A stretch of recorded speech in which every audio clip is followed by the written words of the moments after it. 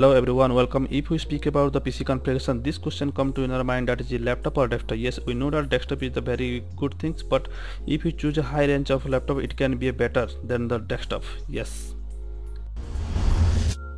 Okay, let's speak about some display and this the minimum screen size you need 15.6 inch and this time I will prefer desktop because of the monitor size and almost screen resolution should be 1920 and 1080 okay let's speak about the processor. I will prefer this time i5 and i7 processor with the latest version of a generation.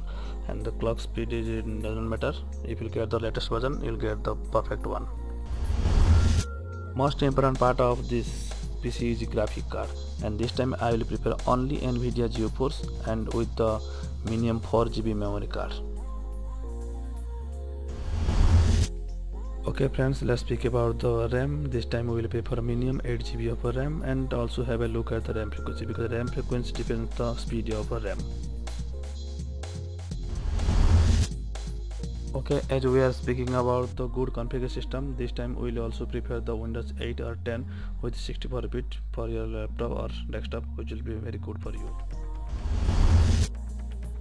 okay let's speak about the hard disk capacity. It depends on you. It depends on your working data but minimum capacity is 500 gb and you can use the external hard disk.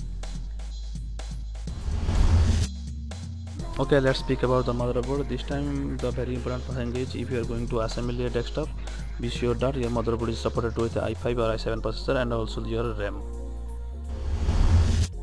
Okay, finally we let you know that this chart is made by asking some experts as well as we are using the same for our animation work. If you are finding more, please do not forget to comment in the below video. Thanks for your watching. Have a good day and nice day. Please do not forget to subscribe our channel.